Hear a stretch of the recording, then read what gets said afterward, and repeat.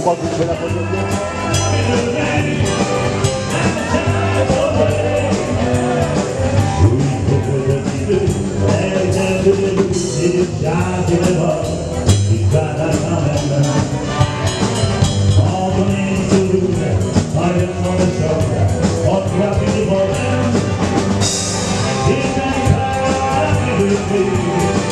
Thank you.